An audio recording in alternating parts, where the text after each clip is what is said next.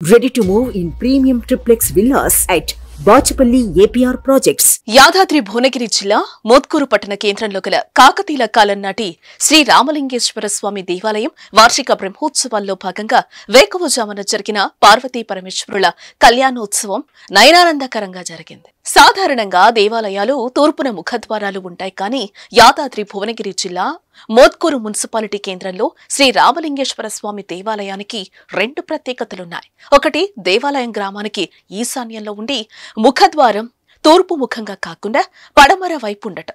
రెండవది శివరాత్రి రోజు జరగాల్సిన శివపార్వతుల కళ్యాణం కాముని పున్నమి తర్వాత అనగా హోళీ రోజున జరగటం విశేషం.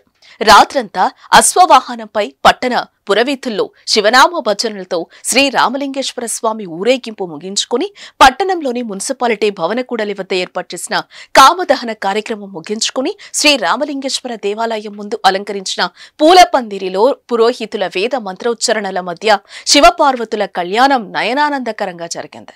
ఇక్కడ ఇలా విభిన్నంగా జరగటానికి ఒక పురాణ కథ ప్రచారంలో ఉంది. శివుని తపస్సు భగ్నం చేసేందుకు మన్మథుడు తన ప్రేమ బాణం సంధించటం శివుని ముక్కంటి ఆగ్రహానికి గురైన మన్మథుడు దహనమైపోయి బూడిదవుతాడు. అందుకు గుర్తుగా కామదహనం జరుగుతోంది.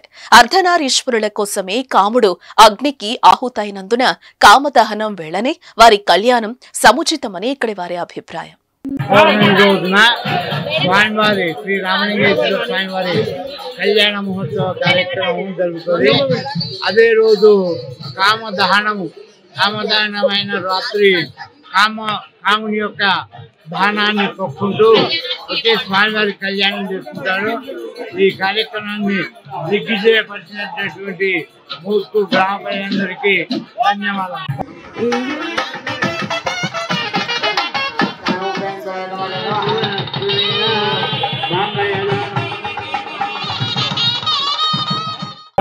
టీవీలో మీ పర్సనల్ అండ్ బిజినెస్ ప్రమోషన్స్ కోసం కింది నెంబర్కి కాంటాక్ట్ చేయండి.